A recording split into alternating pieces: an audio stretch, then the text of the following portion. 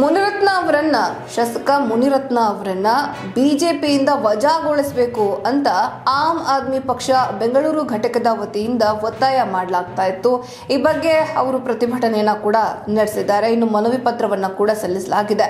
ಬನಿ ಬನ್ನಿ, ಹಾಗಾದ್ರೆ ಏನ್ ಹೇಳ್ತಾರೆ ಅವರು ಅನ್ನೋದನ್ನ ನೋಡೋಣ. ಮುನಿರತ್ನ ಅವರ ಆಡಿಯೋ ಲೀಕ್ ಆಗ್ತಾ ಇದೆ ಹಾಗೆ ಅಥವಾ ವೈರಲ್ ಆಗ್ತಾ ಇದೆ ಹಾಗೆ ಸಾಕಷ್ಟು ಆಕ್ರೋಶಗಳು ವ್ಯಕ್ತವಾಗ್ತಾ ಇದೆ. ಇದೀಗ ಅವರನ್ನ ಕೆಲವರು ಶಾಸಕ ಸ್ಥಾನದಿಂದ ವಜಾಗೊಳಿಸಿ ಅಂತ ಹೇಳಿದ್ರೆ ಇನ್ನು ಕೆಲವರು ಅವರನ್ನ ಬಿಜೆಪಿಯಿಂದಾನೇ ವಜಾಗೊಳಿಸಿ ಎನ್ನುವಂತಹ ಬೇಡಿಕೆಯನ್ನ ಮುಂದಿಡ್ತಾ ಇದ್ದಾರೆ. ಈ ರೀತಿ ಆಗ್ರಹಗಳನ್ನು ಪಡಿಸ್ತಾ ಇದ್ದಾರೆ. ಇನ್ನು ತಕಡೆ ಪುನಿರತ್ನ ಅವರ ವಿಚಾರಣೆ ಕೂಡ ಮುಂದುವರಿತಾ ಇದೆ.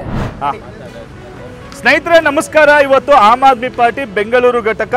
ನಾವು ಪ್ರತಿಭಟನೆಯನ್ನ ಮಾಡ್ತಾ ಇದೀವಿ. ಕಾರಣ ಇಷ್ಟೇ, ತಮಗೆಲ್ಲ ಗೊತ್ತಿದೆ.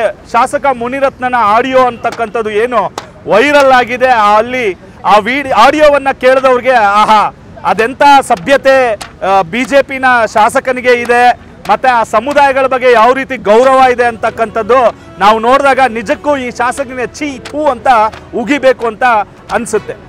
ಕಾರಣ ಇಷ್ಟೇ ಸ್ನೇಹಿತರೆ, ನೋಡಿ ಒಂದು ಕಸದ ವ್ಯವಹಾರದಲ್ಲಿ ಮೂವತ್ತು ಲಕ್ಷ ರೂಪಾಯಿ ಲಂಚಕ್ಕೆ ಬೇಡಿಕೆ ಇಟ್ಕೊಂಡು ಏನೋ ಮಾತಾಡಬೇಕಾದ್ರೆ ಆ ಒಂದು ಸಮುದಾಯಗಳು, ಏನು ಒಕ್ಕಲಿಗ ಸಮುದಾಯ ಆಗ್ಬೋದು ದಲಿತ ಸಮುದಾಯವನ್ನು ಅವಹೇಳನ ಮಾಡ್ತಕ್ಕಂಥ ಭಾಷೆಗಳು ಮತ್ತೆ ಆ ಹೆಣ್ಮಕ್ಳನ್ನ ಏನು ಭೋಗದ ವಸ್ತುನ ಹೆಣ್ಮಕ್ಳು? ಬಂದು ಮಲಗಿಸು, ಅಡ್ಡ ಮಲಗಿಸು ಅಂತಕ್ಕಂಥ ಮಾತುಗಳನ್ನ ಮಾತಾಡ್ತಾರೆ.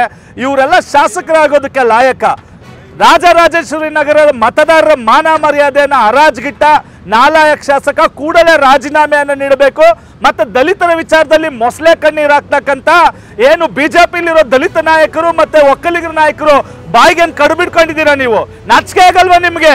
ಸಮುದಾಯಗಳ ಬಗ್ಗೆ ಮಾತಾಡ್ತಾರೆ, ಓಟ್ಗಳು ತಗೊಂಡು ಗೆಲ್ಲೋದಕ್ಕೆ ಸಮುದಾಯಗಳು ಬೇಕು. ಆಮೇಲೆ ನಿಮ್ಮ ಲಂಚ ವ್ಯವಹಾರದಲ್ಲಿ ಕೊಡದೆ ಹೋದ್ರೆ ಅವನ್ನ ಮಾತಾಡ್ರಿ ವೈಯಕ್ತಿಕವಾಗಿ.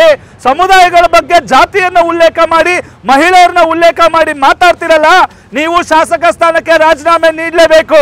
ನೀವು ಏನಂತ ಪ್ರಮಾಣ ವಚನ ತಗೊಂಡಿದ್ದೀರಾ? ನಾವು ಎಲ್ಲ ಜಾತಿ, ಜನ, ಸಮುದಾಯಗಳ ಭೇದ ಭಾವ ನೋಡದೆ ನಾನು ಅವ್ರ ಕೆಲಸವನ್ನ ಮಾಡ್ತೀನಿ ಅಂತ ಹೇಳಿ ನೀವು ಓಟನ್ನ ತೆಗೆದುಕೊಂಡು ಈಗ ಅವ್ರಿಗೆ ಅವಹೇಳನ ಮಾಡ್ತಕ್ಕಂಥ ಭಾಷೆಯನ್ನ ನೀವು ಬಳಸ್ತಾ ಇದ್ದೀರಾ? ನಿಮಗೆ ಮಾನ ಮರ್ಯಾದೆ ನಾಚಿಕೆ ಇದ್ರೆ ರಾಜೀನಾಮೆ ಕೊಟ್ಟು ತೊಲಗಿ. ಬಿಜೆಪಿನವರು ಅಷ್ಟೇ ಮೊಸಳೆ ಕಣ್ಣೀರು ಹಾಕೊಂಡ್ಬಿಟ್ಟು ಆ ನಾಯಕರುಗಳ ಅವರ ರಾಜೀನಾಮೆ ಮತ್ತೆ ಅವ್ರನ್ನ ವಜಾ ಮಾಡತಕ್ಕಂಥ ಕೆಲಸವನ್ನ ಮಾಡಬೇಕು ಅಂತೇಳಿ ಆಮ್ ಆದ್ಮಿ ಪಾರ್ಟಿ ನಾವು ಒತ್ತಾಯವನ್ನ ಮಾಡ್ತಾ ಇದ್ದೀವಿ.